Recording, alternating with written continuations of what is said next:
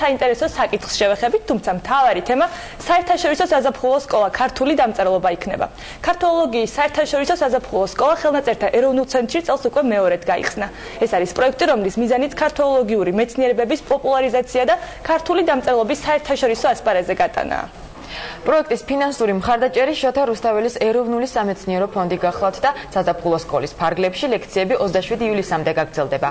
აუდიტორია სხვადასხვა ასაკის, სხვადასხვა ქვეყნიდან ჩამოსულ ადამიანებს აერთიანებს. 22 უცხოელის პრაქტიკული მეცადინეობები ნახეთ ჩვენ სიუჟეტში. ბრიტანი ბაიფერი ქართულ ასომთავრულად წერას სწავლობს.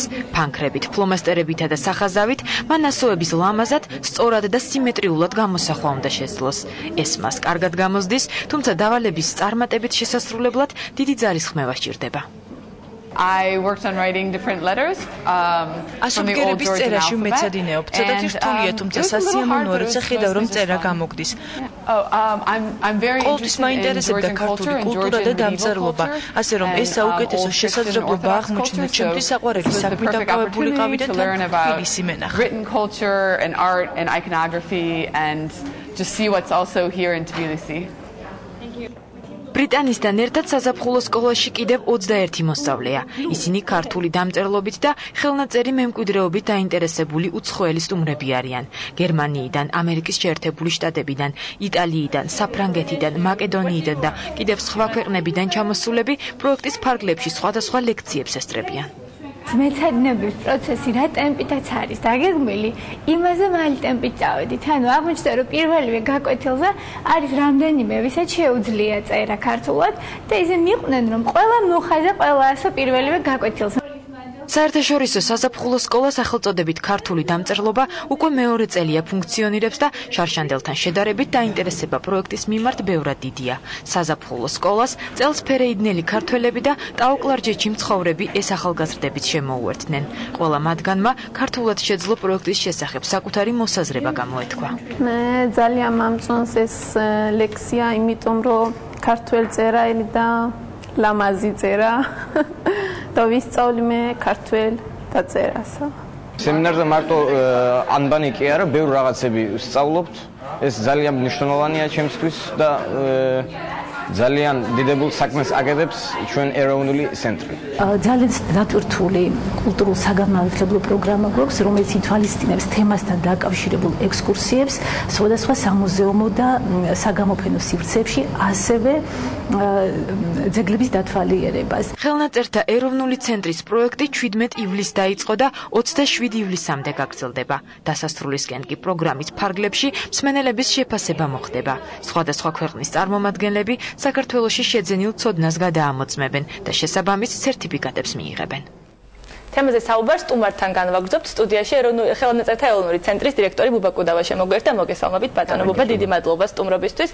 პროექტი საზაფხულო სკოლა ქართულ დამწერლობაზე უკვე მეორედ ხორციელდება. საიდან წამოვიდა მისი ზოგადად მისი იდეა და რადგან გაგრძელება არსებობს ესე იგი დიდი იყო დაინტერესება აა იდეა წამოვიდა იქიდან რომ ჯერ ერთი ჩვენ გვაქვს ძალიან კარგი პოტენციალი ასეთი პროექტების განსახორციელებლად ერთი მხრივ ძალიან მდიდარი კოლექცია და მეორე მხრივ ძალიან კარგი სამეცნიერო პოტენციალი ჩვენი მეცნიერ თანამშრომლების სახით. მეორე ის გახლავთ რომ ჩვენ მსგავს პროექტებს ხშირად მასპინძლობთ ხოლმე, როგორც როგორც დაწესებულება, რომელიც ძალიან საინტერესო კოლექციას ინახავს, ვათვალიერებინებთ ხოლმე უცხოელებს სხვადასხვა პროექტის პარგლებში მოსულ სტუმრებს და მესამე კი ის იყო, რომ შოთა რუსთაველის ეროვნულმა სამეცნიერო ფონდმა გამოაცხადა კონკურსი სწორედ ასეთი პროექტების დასაფინანსებლად. ყოველი აქედან გამომდინარე, ჩავთვალეთ, რომ ჩვენ შეგვიძლია ასეთი პროექტის განხორციელება და მართლა მართლაც მე მგონი უკვე ტრადიცია დამკვიდრდა და მეორე წელია წარმატებით ხორციელდება ეს პროექტი.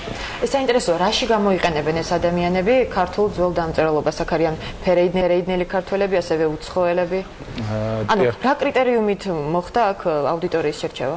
სოთაშორის ინტერესი იყო ძალიან დიდი, 150-ზე მეტი განაცხადი მივიღეთ 10 ადგილას. ჩვენი პროექტი 10 მონაწილის დაფინანსებას ითვალისწინებდა. ძალზე რთული იყო მართლაც კრიტერიუმების შემუშავება, ვინ მიგვიღო მიგვიღო მსმენელად ამ სკოლაში. შევარჩიეთ ისეთი ადამიანები, რომლებიც უფრო სერიოზულად ეკიდემიან ქართულ კულტურას, ქართოლოგიურ მეცნიერებებს და მათ მათი აკადემიური საქმიანობიდან გამომდინარე სჭირდებათ ინფორმაცია um, ქართოლოგიური მეცნიერებებიდან. და ასევე შემდეგ უკვე ჩვენი მხარდამჭერების მეშვეობით მოგვეცა საშუალება დაგვემატებინა მსმენელთა რაოდენობა. დღეს უკვე 20 მსმენელი გვყავს ჩვენ. ჩვენ თანამდგომები არიან ხელნაწერთა ეროვნული ცენტრის მეგობართა საზოგადოება და კომპანია ჯეოსელი. რაში გამოიყენებენ თითოეულ მათგანს აქვს თავისი მკვეთრად ჩამოყალიბებული სამეცნიერო ინტერესები და აი Oh. აი თავიანთ მუშაობაში სხვადასხვა ეტაპზე წააწყდნენ აუცილებლობას ქართული მასალის უკეთ წოდნისა.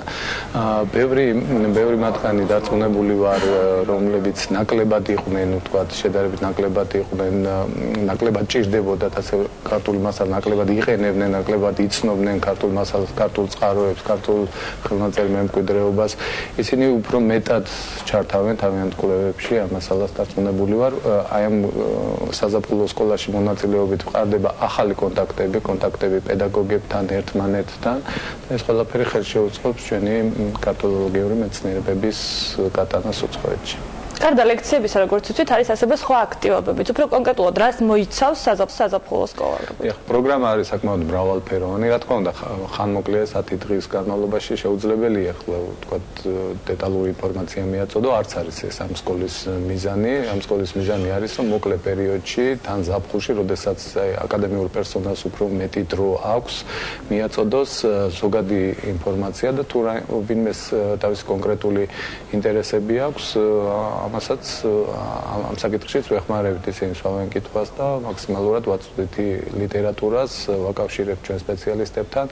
აქტივობები არის კიდევ ექსკურსიები, სადაც საშუალება აქვთ ადგილზე ნახონ უძველესი ქართული დამწერლობის ნიმუშები, მაგალითად ის სიონის წარწერები, მცხეთის წარწერები, ასევე შედარებით თქვათ თავისუფალი ექსკურსიებიც არის, სადაც თქვათ უშუალოდ, რომლებიც უშუალოდ არ არის ქართულ დამწერლობასთან დაკავშირებული ისე მჭიდროდ, მაგრამ ქვე ქვეყნის და კულტურის უკეთ შეცნობაში ეხმარება. ასევე პრაქტიკული სამუშაოები მაგალითად სიუჟეტშიც ნახეთ ჩვენ რომ ისინი სწავლობენ კალიგრაფიულა წერა. ზოგიერთმა დაახლოებით ნახევარმა იწოდა ქართული წერა, ზოგიერთისთვის პირველი შეხება აღმოჩნდა ესა, თუმცა ჩვენი მიზანი არ არის, თქვა წერა კითხვა ვასწავლო, ჩვენი მიზანი არის, რომ ქართული დამწერლობა აი ამ კუთხით დავანახოთ, როგორც ხელოვნების ერთ-ერთი დარგი.